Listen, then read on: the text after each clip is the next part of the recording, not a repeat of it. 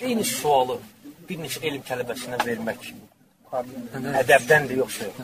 Əgər e, məsələn elə sual ola bilər ki, O cavabını alırsan, amma yenə gəlirsən başqasına versən. Məsələn, bu qamət mənası olmur da, vaxt vaxt alır. Nə mənası var? Elə olur ki, fərqli cavab alma ehtimalı var. Prosta o ədəbdəndirmi? Ona görə sual verir. Baxır da, baxır adama, baxır niyyətinə, baxır ə, qəsdinə, baxır suala, baxır mövzuya, baxır hala. Yəni belə adam var ki, tutaq ki, bir dənə iş qurmaq istəyir.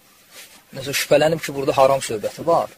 Verib tələbəyə görüb ki, haramdır. 2, 3, 5, 10, 15 haram. Deyirsən nə axtarır? Deyir halal axtarır. Problemdir də.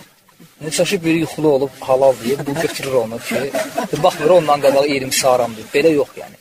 Allah qutaraq. Bəs olmaz. İxlasla.com saytı tərəfindən təqdim olundu.